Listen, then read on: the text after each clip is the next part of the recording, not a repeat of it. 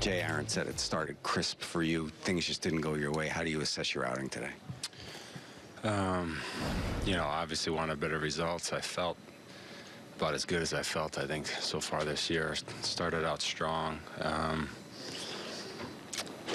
you know, and uh, missed a couple times, and they made me pay. And uh, I felt like I made some pitches and still got some base hits. So overall, I actually feel like I made a lot of good pitches, but you know, you kind of got to live with it and try to move on. Um, you know, I, I, think there's definitely a couple things I can do better that I'm going to continue to work on. But, um, you know, overall, as far as execution, um, you know, I just got hurt on a couple pitches today.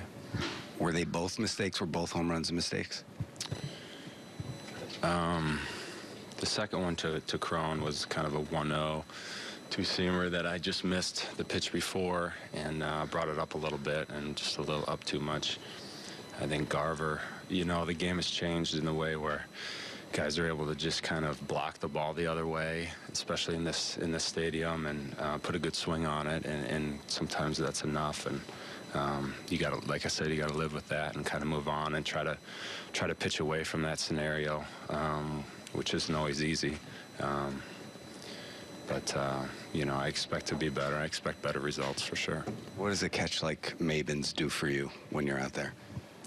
That was huge. You know, that'd give us, us some momentum there. Um, you know, if I could go back and throw a couple more zeros out, that probably would have helped too. But um, that was big. It would have put us, you know, in a bigger hole. Um, that kept the game manageable, and we were in it from there.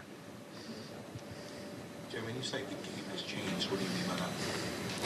I just, you know, there's eight out of nine guys in the lineup can beat you really at any area of the ballpark, you know, especially um, just the way that it is now. Um, before you used to not really see that, but, um, you know, um, I give all credit to them. They made some good swings, and, um, you know, they got us today. They outplayed us. When you say you have to move on after a home run like that, how difficult is that? Um, it varies. I mean, you try. I, I, try to move on. You know, we're still in the game at that point for sure. So I felt like we were in the game the whole time. It's just, um, you know, the little add-ons hurt. But at that point, two nothing. Um, you know, we feel like we can definitely come back there.